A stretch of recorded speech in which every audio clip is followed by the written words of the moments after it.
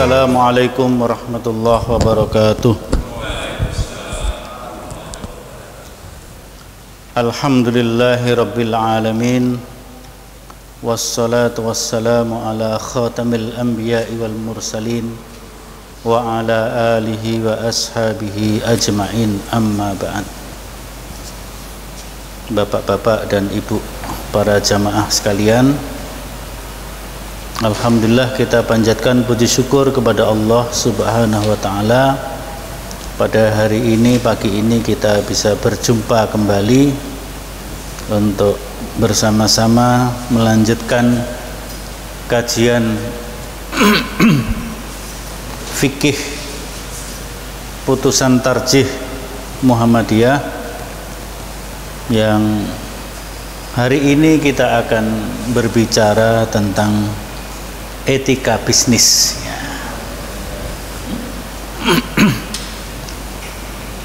Di dalam kajian tarjih ini pembicaraan mengenai etika bisnis mirip dengan pembicaraan mengenai etika politik. Jadi memberikan prinsip-prinsip dan rambu-rambu yang berkaitan dengan perbisnisan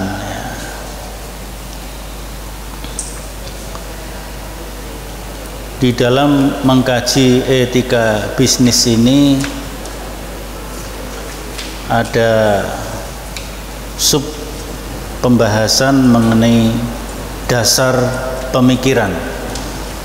Mungkin kalau yang lalu semacam prinsip-prinsip dasar atau nilai-nilai dasar yang di dalam manhaj tarjih itu disebut dengan istilahnya al-qiyam al-asasiyah nilai-nilai dasar. Baru kemudian akan diturunkan dari al-qiyam al-asasiyah nantinya menjadi al qawaid al-usuliyah. Al-qawaid al-usuliyah. Baru setelah itu turun tingkat yang lebih bawah lagi namanya al-ahkam al-far'iyah.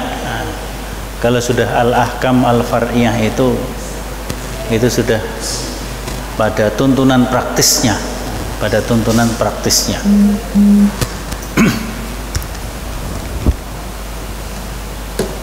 Nah yang pertama adalah dasar pemikiran atau al-qiyam al-asasiyah berkaitan dengan etika bisnis ini ya.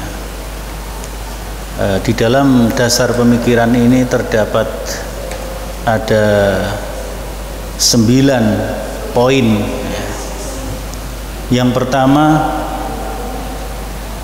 Allah adalah pemilik mutlak harta kekayaan dan manusia adalah pemilik tidak mutlak atau pemilik nisbi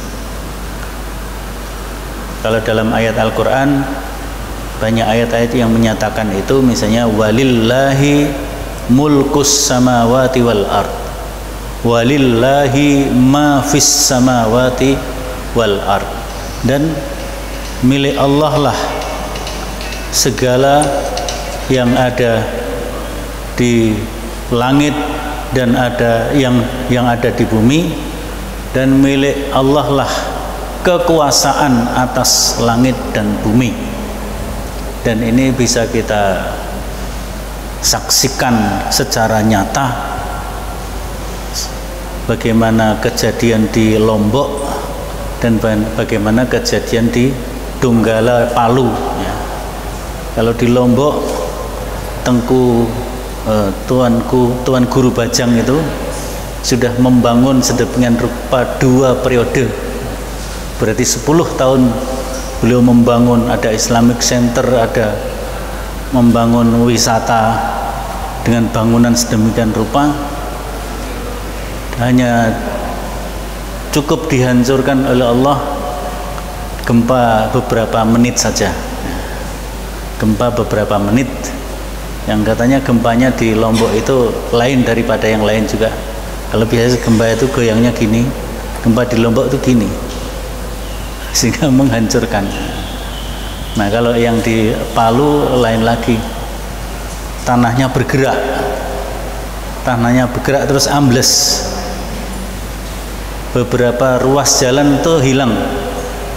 Jadi mungkin kalau misalnya kita itu misalnya jalan Garuda itu dicari udah nggak ada lagi gitu ya, kira-kira gitu. Jalan Garuda Garuda Mas. Nah, bahkan ada perkampungan juga hilang. Ya ada yang menceritakan itu seorang ayah mengantar anaknya mengaji baru pulang sampai rumah terdengar suara uh, suara yang sangat dahsyat. Dia noleh ke jalan yang baru saja dilalui untuk mengantar anaknya itu sudah jalannya nggak ada rumahnya juga nggak ada. Nah, anaknya nggak tahu di mana. Ya, ikut ikut hilang. Allahu alam.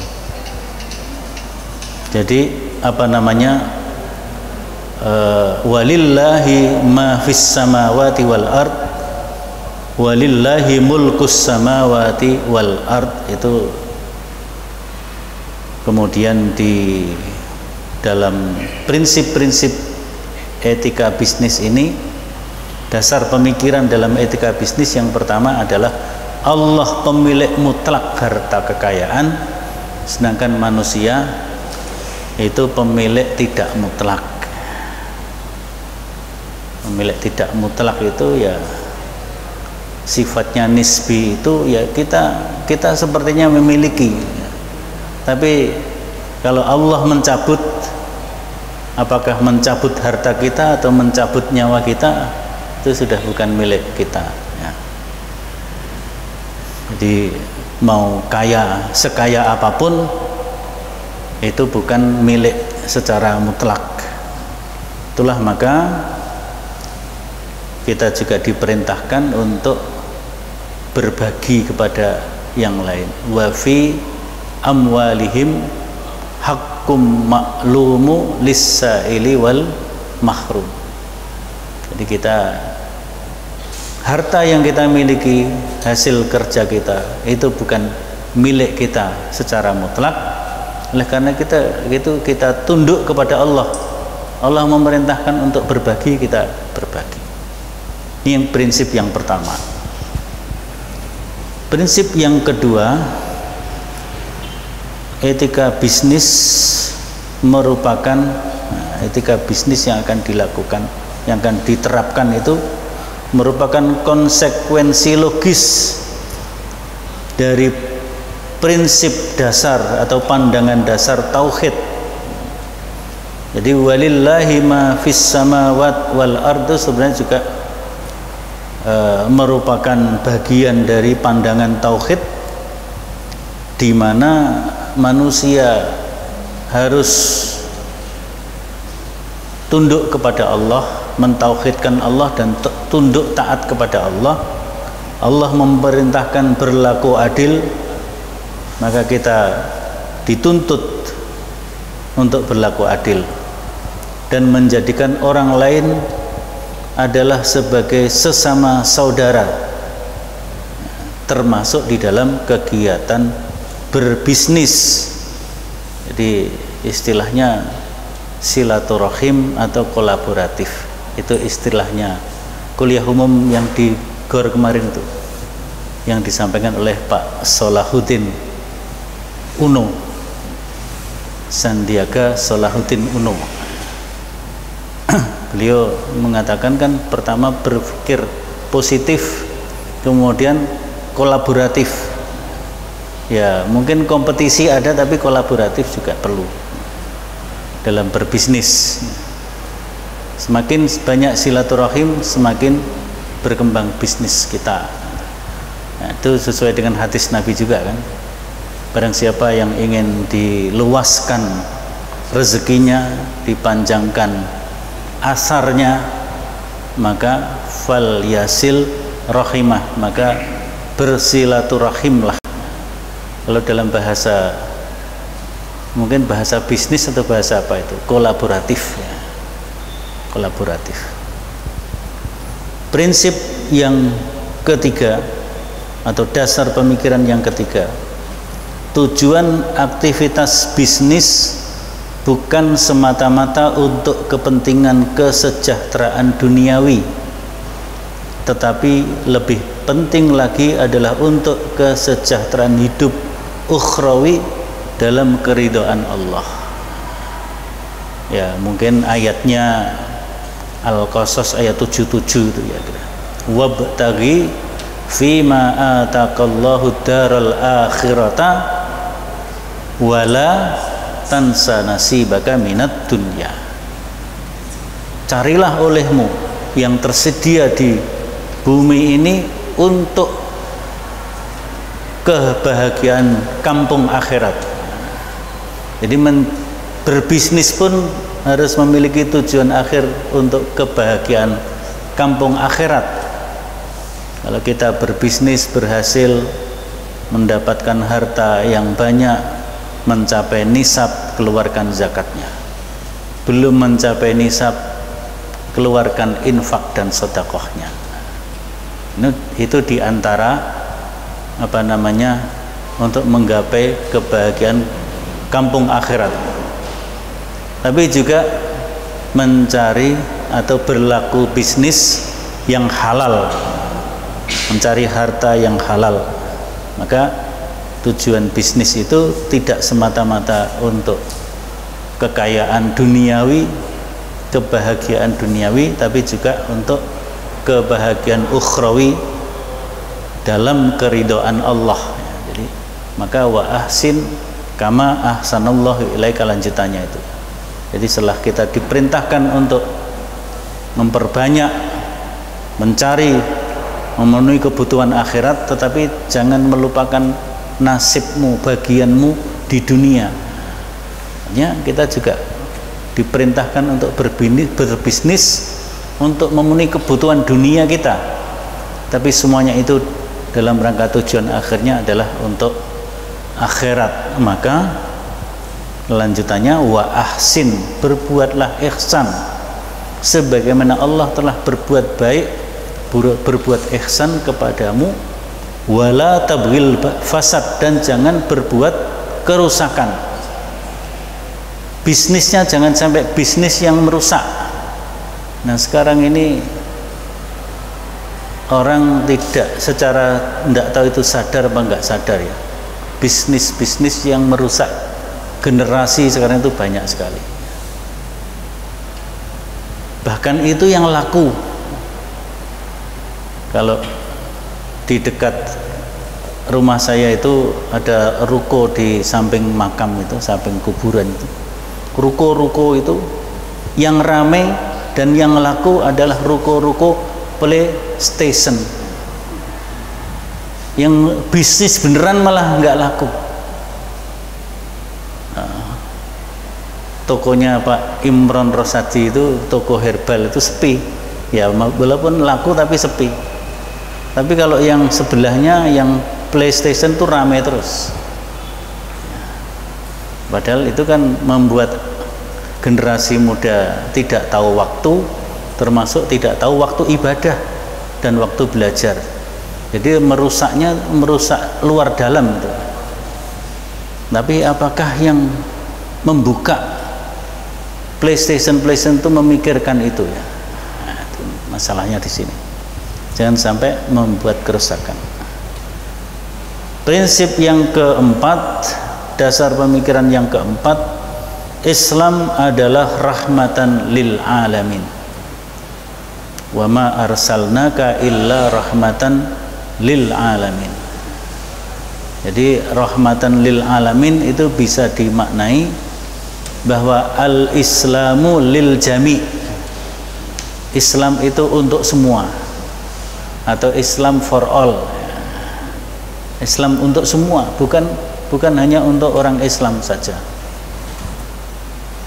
Maka ketika ada gempa lembaga penanggulangan bencana milik Muhammadiyah atau MDMC itu ya datang ke sana untuk melakukan apa membantu merecovery memberikan bimbingan-bimbingan keagamaan dan psikologis terutama psikologis untuk anak-anak itu tidak memandang agama. Semuanya dibantu tidak memandang agama dan tidak dalam rangka memindahkan seseorang dari satu agama ke agama yang lain. Kalau ada yang pindah itu kerelaannya sendiri. Tapi ada kelompok lain yang memang sengaja membawa misi agama itu yang terang-terang. Maka hari ini AMCF itu Asia Muslim Charity Foundation yang kerjasama dengan Muhammadiyah itu mengirim 100 tenda dan masih tertahan di Halim Perdana Kusuma karena apa namanya antri ya. Antri pengiriman ke sana.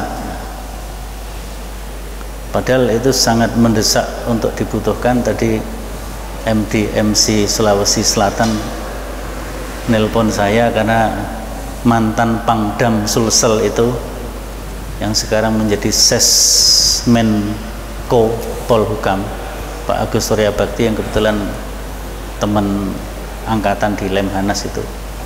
Saya minta supaya saya diminta untuk memberikan pesan kepada beliau agar bisa diprioritaskan pengiriman 100 tenda milik Muhammadiyah kerjasama dengan AMCF yang penting sudah saya sampaikan. Nah, apakah beliau nanti? Karena kan yang ditunjuk untuk merecovery itu kan Menteri Menko Polhukam juga Pak yang mengkoordinasi untuk itu Menko Polhukam Pak Wiranto. Meskipun ya ada pernyataan yang yang saya kira perlu diluruskan. Masyarakat silahkan ambil nanti. Ambil nanti kami yang bayar. Nanti kalau tapi kalau ngambilnya sembarang itu kan tidak terukur. Ya. mestinya kan pemerintah yang mengambil kemudian yang membagikan dan membayarnya kan gitu. Tapi kalau masyarakat suruh ngambil sendiri berebut itu sekarang terjadi penjaraan dan kacau di Palu. Maka tidak menjalankan prinsip atau kurang menjalankan prinsip rahmatan lil alamin itu. Itu kan termasuk bisnis juga. Bisnis yang tidak rahmatan lil alamin. Karena yang punya nanti diambil begitu rupa nggak tercatat mau minta juga nggak jelas mau minta bayaran ke ke pemerintah karena yang nanggung pemerintah yang diambil berapa? Nah itu nggak ada catatannya. Yang ada catatannya aja nggak nggak belum atau belum terbayar ya. Seperti BPJS itu. BPJS itu kan tercatat rapi. Kemudian pemasukannya juga jelas karena peserta BPJS semuanya bayar. Kalau nggak bayar didenda kan gitu itu aja rumah sakit itu banyak apa namanya belum terbayar apalagi yang tidak tercatat seperti suruh mengambil sendiri itu tidak memenuhi prinsip atau dasar pemikiran Islam rahmatan lil alamin. Yang kelima, nilai manusia tidak semata-mata terletak pada ukuran banyaknya harta kekayaan, tetapi diletakkan pada pandangannya terhadap kekayaannya, etos kerja, dan cara memperoleh harta kekayaan serta mentasarufkannya. Mentasarufkan itu berarti memanfaatkan membagikan mengelolanya ya tasaruf itu kira-kira mengelola mengelola harta. Jadi ini dasar-dasar untuk berbicara tentang etika bisnis itu. Yang kelima adalah manusia tidak dilihat semata-mata dari ukuran banyaknya harta kekayaan. Jadi kita melihat itu misalnya di UMS ini paling kaya siapa Pak? Di UMS ini paling kaya siapa? Jangan dilihat paling kaya, paling banyak hartanya itu. Tapi yang kita lihat adalah kalau menurut dari sisi bisnis ya, dari sisi etika bisnis yang perlu dilihat adalah pandangannya terhadap kekayaan. Jadi pandangan hidup kita terhadap kekayaan kalau kita tidak diperbudak oleh harta tidak diperbudak oleh kekayaan nah itu baru pandangan terhadap kekayaan yang baik. Justru kita tunduk kepada Allah untuk mentasarufkan kekayaan itu. Kemudian juga etos kerja. Jadi semangat kerjanya juga profesional kerjanya. Kemudian cara memperoleh harta kekayaan dengan cara-cara yang halal kemudian juga mentasarufkannya memanfaatkannya membagi berbaginya mengelolanya mana yang disalurkan untuk zakat sudah diukur dihitung sendiri bisa juga menggunakan jasa lembaga-lembaga lembaga zakat untuk menghitungkan saya kira juga bisa gitu. Harta kita. Sekian sekian sekian mestinya saya harus bayar zakat. Berapa? Itu bisa dihitungkan tinggal nanti disalurkan juga kepada lembaga zakat tersebut. Salurkan kepada lembaga zakat yang terpercaya dan resmi. Apalagi kalau resmi pengeluaran zakat yang diterima oleh lembaga resmi akan berdampak kepada pembayaran pajak. Pada pembayaran pajak. Ini prinsip dasar yang kelima. Yang keenam ajaran Islam bersifat menyeluruh. Kafah. Udkhulu fis silmi kafah meliputi berbagai aspek baik menyangkut hubungan manusia dengan Allah maupun hubungan manusia dengan manusia atau dengan sesamanya dan manusia dengan alam sekitarnya. Keseimbangan ini perlu keseimbangan hubungan Allah manusia alam. Kalau tidak seimbang ya bisa terjadi bencana apakah itu bencana sosial atau bencana alam? Nah, sehingga banyak juga yang mengkait-kaitkan kejadian bencana alam yang terjadi dalam sebulan terakhir ini ya. Yang di Lombok juga begitu. Lombok dikenal sebagai kota seribu masjid tapi juga 10.000 pencoleng. 10.000 10.000 maksiat. Palu juga begitu. Muncul video viral ya bahwa di Palu sudah terjadi kegiatan maksiat seperti LGBT anak-anak muda yang punya semangat keagamaan yang tinggi menggerakkan gerakan anti LGBT dan sudah mendata ada beberapa komunitas LGBT di Palu. Dan salah satu komunitas yang cukup besar itu anggotanya mencapai seribu. Itu baru satu komunitas.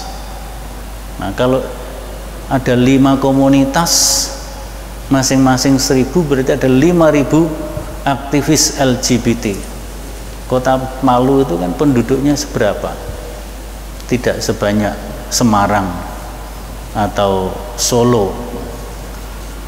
Yang LGBT 5000 berarti kan sudah mewarnai cukup banyak.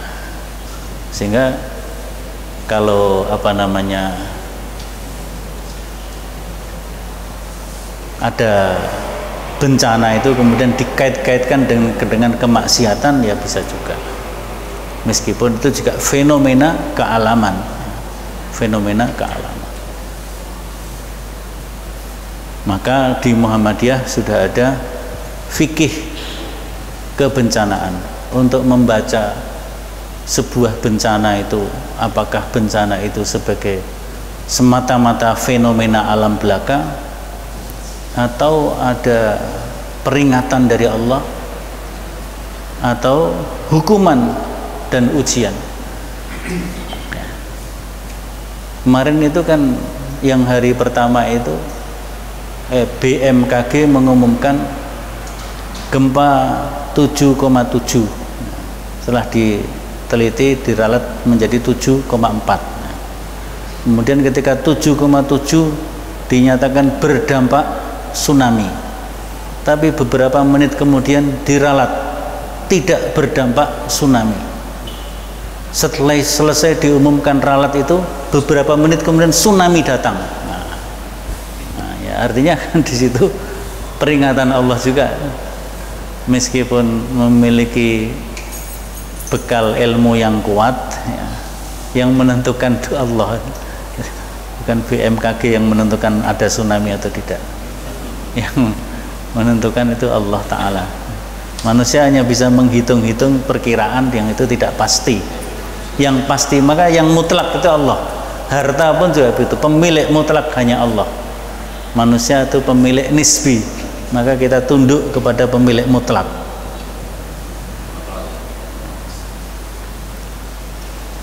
Yang ketujuh ini kita selesaikan sampai sembilan. Yang ketujuh eh, yang keenam oh, sudah. Yang ketujuh perilaku umat Islam dalam berbisnis harus merujuk kepada nilai-nilai Islam yang bersumber kepada Al-Quran dan As-Sunnah.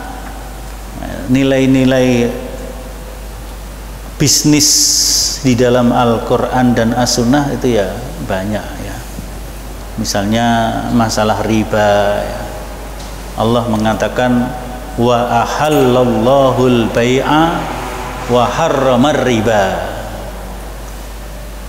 Allah menghalalkan jual beli tapi mengharamkan riba.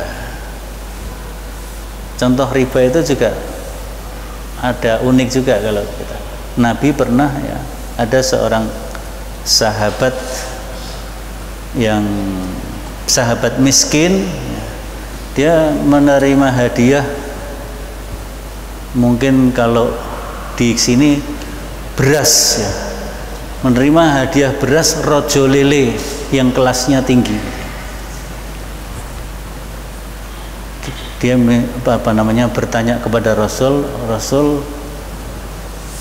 beras ini tidak biasa kami konsumsi dan saya ingin mendapatkan beras yang lebih babar. Maka ini ingin kami tukar dengan beras yang lebih murah. Apakah boleh Nabi melarangnya karena itu adalah riba. Jadi kalau kita datang bawa beras rojo lele ditukar beras apa? Mentik. Sempat. Ya. Beras raja lele harganya misalnya berapa? Lima. Eh? lima belas ribu. Lima belas ribu.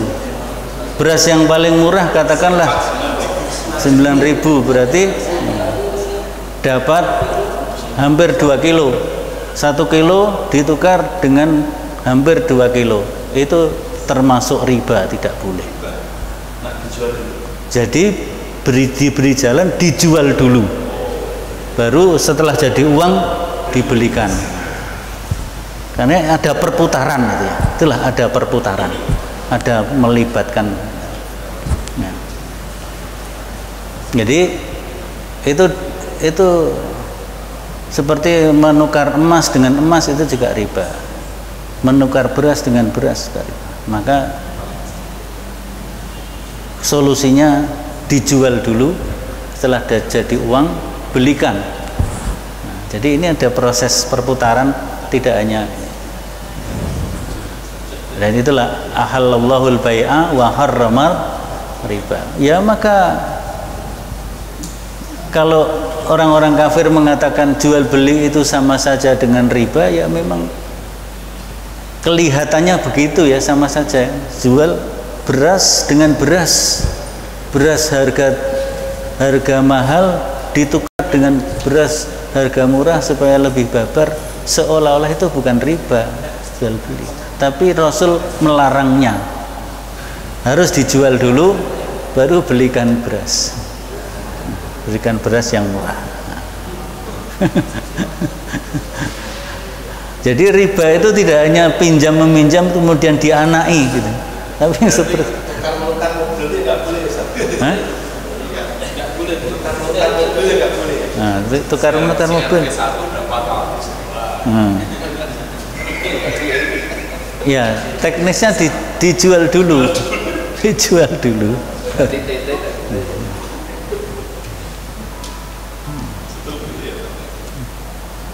ya apakah itu bisa di kemudian dianalogkan ke tukar tambah mobil apa enggak? Itu nanti bisa di eh? tukar mobil. Ah, tukar mobil. Mobil satu dapat dua. Ya. Dulu panti asuhan Muhammadiyah Jayapura itu dapat hadiah tabungannya mobil apa itu namanya? Yang Toyota tinggi yang mahal itu apa?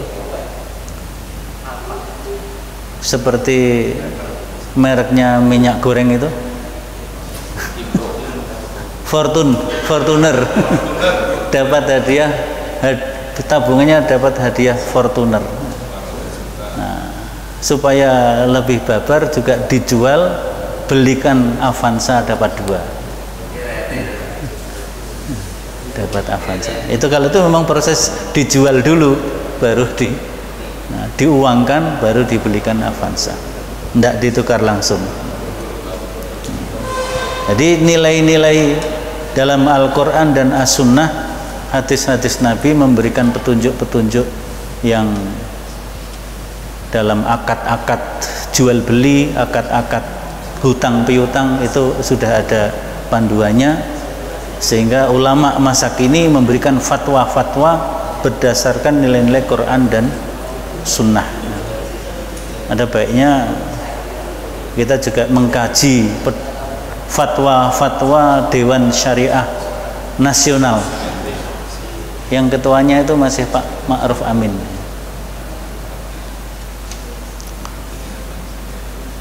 yang kedelapan pengabaian nilai-nilai tersebut ini lanjutan dari yang nomor tujuh pengabaian atas nilai-nilai Islam yang bersumber kepada Al-Quran dan As-Sunnah mengakibatkan lemahnya penegakan hukum dan makin suburnya budaya korupsi, kolusi dan nepotisme. Ya, termasuk yang kita alami kehidupan ekonomi di negeri ini kan mayoritas kehidupan bisnis ribawi. Kehidupan bisnis ribawi. Bukan kehidupan bisnis yang syar'i. Kalau kehidupan bisnis yang syar'i itu kan sebenarnya menuntut kita untuk saling percaya dan terbuka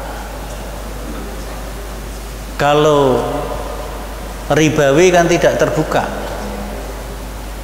Enggak enggak mau tahu untung atau rugi pinjam harus kembalikan dengan tambahan sekian persen. Itu akhirnya juga berdampak kepada aktivitas bisnis yang lain. Orang mau bayar pajak. Maka diakali sedemikian rupa agar pajaknya kecil. Walaupun penghasilannya besar tapi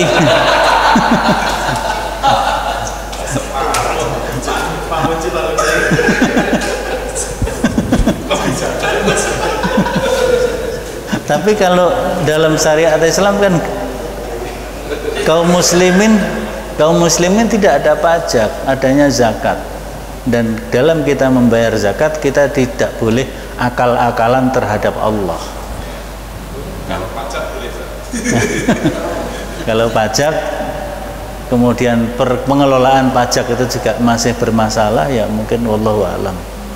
Kita bisa atur apalagi itu adalah harta umat. Tapi kalau harta pribadi ya sebaiknya kita juga taat kepada ulil amri. Jadi kalau harta pribadi kita kita ngisi SPPT itu ya kita isi dengan sebaik-baiknya yang terakhir yang sembilan agar tercipta kesejahteraan yang meluas dan merata bagi seluruh warga negara diperlukan upaya penegakan hukum dan etika bisnis. Kalau ini rekomendasi tarjih kepada pemerintah. Rekomendasi tarjih kepada negara. Jadi dasar pemikiran yang ke sembilan ini merupakan ada unsur rekomendasi kepada negara dalam ini kepada pemerintah supaya penegakan hukum dan etika bisnis itu ditegakkan sebaik-baiknya. Maka mungkin juga dalam program-program studi keekonomian dan kebisnisan seperti di Fakultas Ekonomi dan juga di Fakultas Agama terutama prodi Hukum Ekonomi Syariah ada prodi Ekonomi Syariah ada prodi tentang zakat dan wakaf. Ini saya kira perlu untuk pengkajian dari dari segi aspek hukum dan juga aspek etika bisnis. Inilah bapak-bapak dan ibu sekalian untuk edisi pertama etika bisnis ada sembilan dasar-dasar pemikiran yang perlu kita pahami, kita renungkan. Dalam konteks kita melaksanakan bisnis, mencari harta, juga men, men, mengemban amanat dalam mengelola lembaga yang ini juga ada unsur bisnisnya juga. Harus kita tegakkan nilai-nilai dasar tersebut. Ini barangkali yang dapat saya sampaikan untuk hari ini. Saya kira cukup ya pertanyaan-pertanyaan dikumpulkan untuk yang akan datang saja. Sudah jam 8.30 nah, ini bagiannya Pak Triyono nanti kalau, nanti kalau ada pertanyaan yang jawab Pak Triyono. Terima kasih. Mari kita akhiri subhanakallahumma bihamdika asyhadu an la ilaha illa anta astaghfiruka wa atubu ilaik. Assalamualaikum warahmatullahi wabarakatuh